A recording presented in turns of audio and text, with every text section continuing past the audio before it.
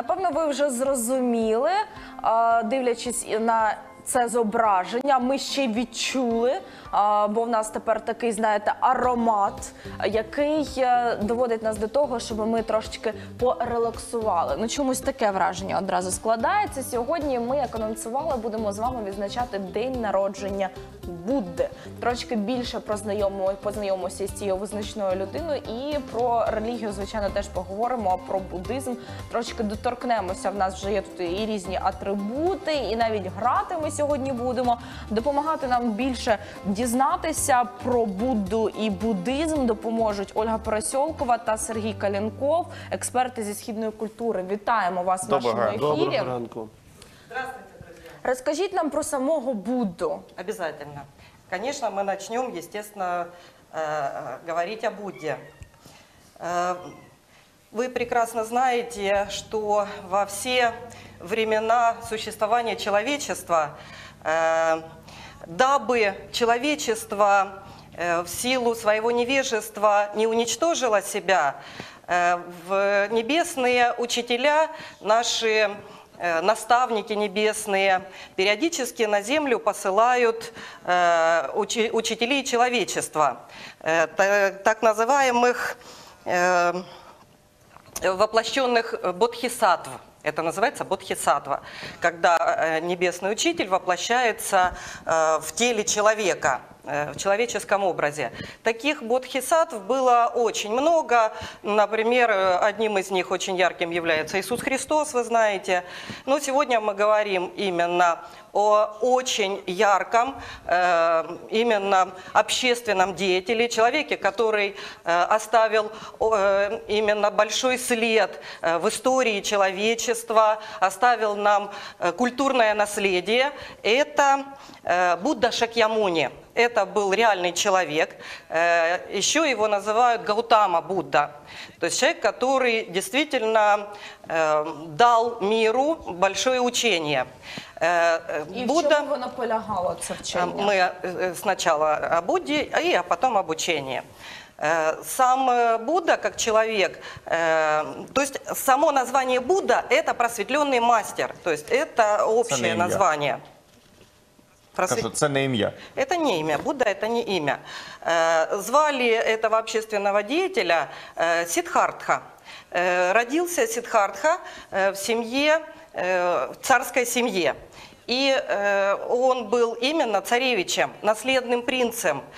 И Сиддхартха был очень умелым, очень искусным человеком. Его мама, царица Майя, перед э, тем, как э, э, зачался ребенок, она видела божественный сон. Со- Во сне ей привиделся белый слон. По индийской традиции белый слон считается очень благотворным знаком. То есть именно это э, знак э, воплощения божественного аватара. То есть уже мама заранее знала, что у нее родится божественный сын. И э, перед тем, как родился Сиддхартха, э, Риши Асита, отшельник, э, он видел, что в мир придет именно великий учитель человечества. И когда родился Сиддхартха, учитель Асита пришел, чтобы поприветствовать божественного младенца в, семью к своему царю. И когда он взял на руки младенца, сначала э, Риши Асита засмеялся радостно, а потом э, он заплакал. И царь спросил у Риши Аситы, э, почему ты смеешься, почему ты плачешь? И он сказал, смеюсь я, потому что э, я э, благословлен богами увидеть учи- воплощение э, учителя человечества. А плачу я именно от того, что я не доживу до того, чтобы услышать именно это божественное учение.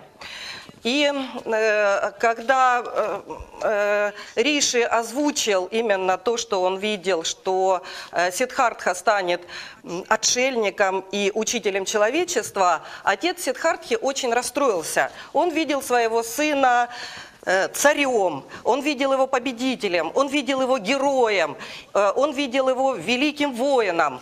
И э, тогда э, э, отец Сиддхартхи э, решил сделать таким образом, чтобы Сиддхартха не стал отшельником. Э, Он из своего царства удалил всех э, стариков, всех немощных, всех больных, всех э, людей, которые бы могли именно э, ну, показать э, Сиддхартхе э, не э, то, что этот мир несовершенен. И Сиддхартха до своих 16 лет жил в царстве, где было все прекрасно, все цвело, все благоухало, бы- были только красивые молодые люди. Э, Он не сталкивался именно с неприятной, как мы думаем, стороной жизни. Э, Но когда Сиддхартхе исполнилось 16 лет, все-таки он воплощение божественного аватара, поэтому, естественно, его э, э, судьба, она в любом случае его нашла однозначно. На Сиддхартху очень сильно повлияло четыре встречи, четыре судьбоносные встречи. Э, Эти четыре встречи явились толчком к душевному его перевороту. Первая встреча это была, когда Сиддхартха захотел э, посмотреть э, пределы своего царства и увидел по дороге дряхлого старика. То есть он до 16 лет не встречался со старыми людьми, и вдруг он увидел дряхлого старика, для него это было потрясением. Второй встречей э, стала э, неожиданная встреча с больным человеком, страдающим проказой. То есть когда он увидел прокаженного, Сиддхартха был потрясен, потому что он в жизни не видел больных людей, а тем более больной проказой. Это очень жуткое зрелище. То есть это было для него душевным беспокойством. Третьей э, встречей э, оказалось, когда э, Сиддхартха поехал на колеснице со своим провожатым и другом, они встретили похоронную процессию. И тогда Сиддхартха узнал, что в жизни бывает еще и смерть, что люди смертны. И тогда он очень сильно задумался именно о судьбах человеческих, о жизни. Сиддхартха по своей натуре был очень сердобольным человеком, был очень э, сострадающим. И он э, э, стал задумываться о том, как, как же людям вот, жить, как им наслаждаться своей жизнью. И э, четвертая судьбоносная встреча, это была встреча э, с умиротворенным нищим стариком.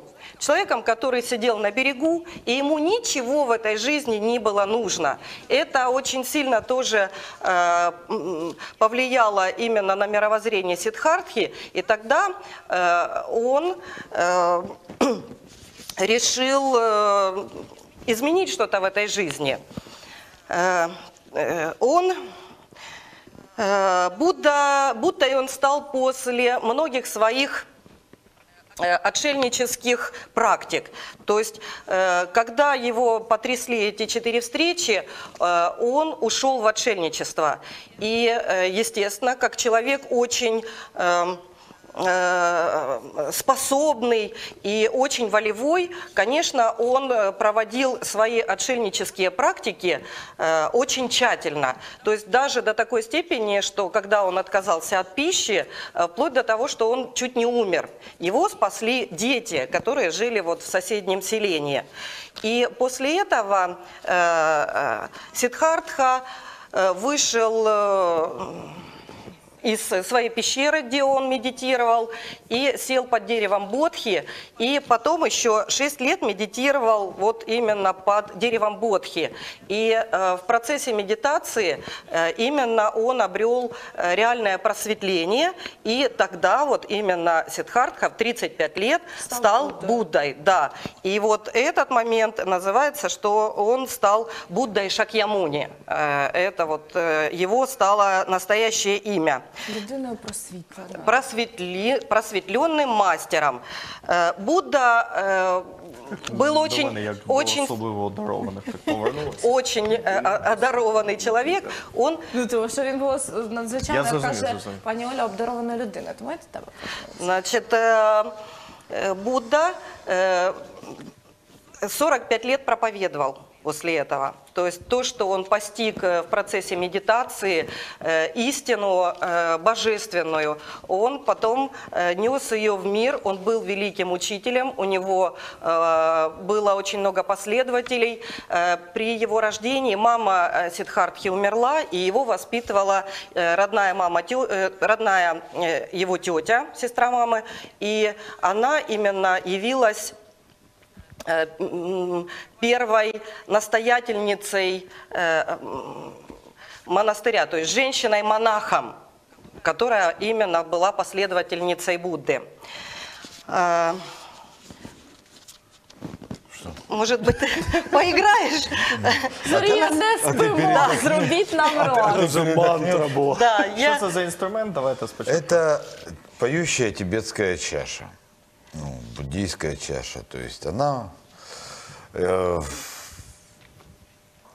очень многому учит, она очень во многом помогает. Она Як очень- може чаша, чаша навчити чомусь? А одна из тем, чаша учит размеренности и равномерности. То есть чаша не запоет, если вы что-то делаете не так. А, тобто, якщо я погана людина, то в мене в руках Не- чаша не заспіває. не- не- опять же, ж таки, если возвращаясь к Гаутаме Будды, Будда говорил, Будда говорил о том, что нет плохих людей. Плохих людей не Я бывает. А трішечки як не же, я такий, не як знаю, всі. там Другой, вбивці, маніяки. другой вопрос, что у каждого есть какие-то свои э, Переживай. переживания, и они в них застряли. Одна из историй Будды гласит о том, что он встретил маньяка-убийцу, у которого было ожерелье из человеческих ушей. Вот. И он пошел к нему навстречу и тут говорит, ну я тебя сейчас убью. Говорит, хорошо, убей. Если это единственное, что отделяет тебя от счастья, убей. Но сделай одну для меня, а, перед тем, как я умру, одну, одну простую вещь. Да, говорит, срежь ветку с дерева. У тебя же острый нож. Тот отрезал, говорит, да, говорит, здорово. А теперь вторая часть моей просьбы. Верни так, как было. Да? И, и маньяк, закон... и маньяк закончился. Що нам робити з цією чашею? Вона ну просто співає. Чи ми пот- маємо ще про щось думати під час того, як вона грає? Н- Нет необходимости думать. Чаша навеет. А вона має бути персональною, тобто індивідуальною? для По-хорошему, цієї людини? по-хорошему, да. Вот. То есть, как любой э, инструмент, как любой... э, Ну, это да, это как, как один из предметов личного пользования. Ею можно работать с другими людьми, ею можно работать с собой. Естественно, начиная с себя. Вот. То есть она может просто... Может вот так звучать. Вот. И это же чаша. И уже два тона. Вот. А на самом деле их три. Вот. Э, Який? А третий, дело в том, что для того, чтобы... ус- тре- Третий там настолько низкочастотный, что его действительно... його не відчуємо. Нет, он, он слышится уже телом. Третий тон. Именно вот, вот на этом, на, на этом вот как раз и построена работа с другими людьми, да, то есть можно и чашу ставить на кого-то или на себя, и вот этими вот глубинными вибрациями она очень здорово чистит. Вот. Що нам в цей момент робити? Ничего. Внимать. То есть э, настоль это медитативный инструмент. То есть он именно является... Подожди секундочку, пожалуйста. Да. Вот сейчас вот один тон. Он уже есть. Я нічого не чую. О, Я чую, я чую. вот это как раз та самая тема. Я нічого не чую. О, є, Все чутно. є.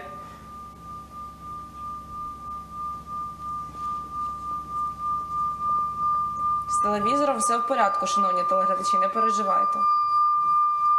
Я знаю, як роблять ці звуки для фільмів жахів, коли знаєш ситуація і зараз. И в зависимости, и в зависимости от того, то есть насколько силен, при- насколько сильно вы прижимаете э, палочку, соответственно, вы регулируете громкость. То есть най- Да, вот тот самый, а что мне вкусно, что мне, какой звук мне больше нравится, Так, да? для мене, наприклад, ось цей ну дуже зависокий, ви Да. знаєте, навіть таке ну, тобто неприємне відчуття в голові, як ультразвук. Може, ти вампір? И вот это Тобто, же, якщо я и спробую, вот в мене эта же буде чаша, этой же палочкой. Чуєш? Вот сейчас она, ан- вот. И вопрос состоит в том, что вы не можете заставить чашу играть каким-то тоном. Она откликается, она резонирует на вас своим А тоном. дозволите ви мені спробувати вашу чашу, чи вийде просто в мене? Пані Олю, хотіла, поки зараз я буду намагатися навчитись це робити. е, Я хочу вас запитати, чи є якісь правила в буддизмі, як, наприклад, у християнстві там заповіді, що є у буддизмі? Да, конечно. Э, ну, Свет, Я э, поправлюсь. э, ру- рука должна быть открытой, Да. да. Главное Рука- не сжимать, да. Вот. Да. ну, давай. Главное ее не сжимать. И вы не торопитесь, потихонечку, не спешите, ну, тренируйтесь. Я пока расскажу о буддизме немножко. Э, э, Буддизм – это не религия, это мировоззрение. То есть э, буддизм именно как учение Будды – это э, учение саморазвития и самоосознания. Э, Буддизм, именно учение Будды основывается на медитативных практиках. То есть Будда говорил о том, что познать себя, познать мир возможно только через медитацию. Однажды Будда сидел на берегу, и мимо проплывала лодка, в которой сидел э, игрок, который играл на струнном инструменте. Ну, э, как у нас, например, гитара. И э, когда Будда наблюдал э, именно за игроком, он э, осознал великую истину, понимание жизни, о том, что э, в нашей жизни есть необходимость э, в серединности пути. То есть это основная, э, основная идея именно учения Будды о том, что э, нет необходимости вдаваться в крайности. Если мы возьмем струнный инструмент, то есть струна, да, что происходит? Когда вы э, настраиваете инструмент и слишком натягиваете струну, струна лопается. То есть э, перенатяжение наших эмоций, перенатяжение наших э, требований э, именно э, разрушает. Если вы будете не натягивать струну, если вы будете инфантильными, если вы будете э, безразлично относиться, то, соответственно, инструмент играть не будет, то есть струна будет дребезжать. А когда вы натягиваете струну именно по тону, как она должна правильно звучать, то тогда происходит именно музыка жизни. То есть именно вот, этот, эм, вот эта идея является основополагающей. Называется эта идея серединность пути, то есть отказ от крайностей. То есть не вдаваться в крайности, э, как слишком тобто десь расслабление. посередині має бути Совершенно ця- ця верно. Все должно крапочка. быть э, именно посередине. Отлично. Вот. Тобто ми з Микитою погані люди? Ні, він просто перевернув А, паличку. е, то в мене так теж вийде. А в чому зміст просвітління за Буддою? От саме це найвище. Просветление невозможно достигнуть. Просветление случается. То есть этот э, момент есть необходимость практиковать. То есть когда человек практикует, ему приходят образы. Э, и когда э, сама медитация – это процесс э, слушания себя. То есть медитация – это присутствие к себе. Медитация – это э, познание себя. Когда вы э, погружаетесь в себя, узнаете себя, тогда вам открываются божественные истины. Э, Медитация способствует тому, что в вашем уме перестают э, разговаривать, э, ну то есть ум сам перестает разговаривать, сам затихает. Думки. Совершенно верно. И тогда действительно открываются истины. Это процесс практикования. Это люди... Отак одразу це не вийде. Эм, Очень может выйти. Никто не говорит о том, что что-то выйдет или не выйдет. Есть э, смысл практиковать, э, но достигнуть этого невозможно. Это может случиться с каждым в любой момент. Окрім, Да. окрім такої чаші, а, які ще можуть бути атрибути для буддийської медитації?